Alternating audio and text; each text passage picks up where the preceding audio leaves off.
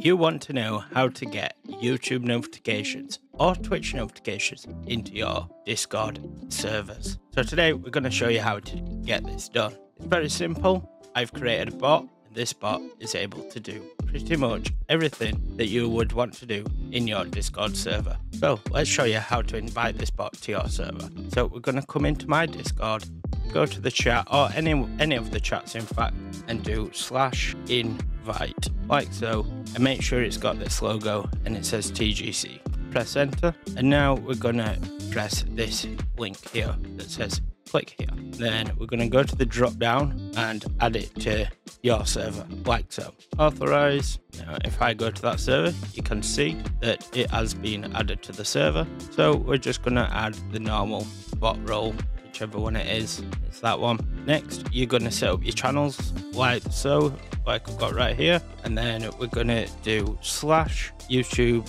notification set. We're going to pick the channel, which is YouTube notification. Then we're going to get the YouTube channel ID.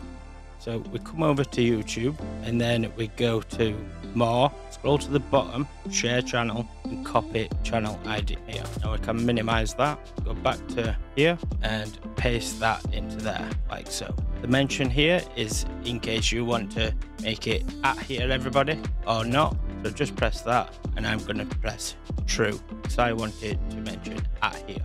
Just like that, you've set up your first YouTube notification. So what else can we do? We can do slash list, so YouTube notification list, and it will show you your YouTube notification list. So who you've got, um, who you're going to be showing. But what happens if you decide you don't want to push their content into your Discord anymore? Well, I've got you covered. Slash, YouTube notification, remove, copy the ID that we got here and paste that in and that will remove the YouTube notification.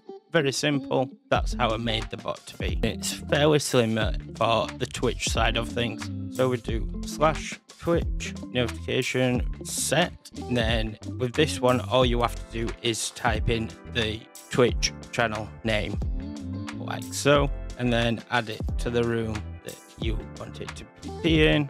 I've already explained the mention here through and likewise as before, you can do Twitch notification list. You can see who you're promoting, or you can also do Twitch remove and just type in the name again that will remove it. Now this bot is not just a notification bot it does do a lot more. So if you want to find out about them please do join the Discord and I have a full list of what the bot can do at the moment. And we are updating it every single day to get more features into the bot and make it more fun for everyone. Thanks for watching, hope you enjoyed. Guys, I'll catch you all on the next one. Don't forget to hit that subscribe button.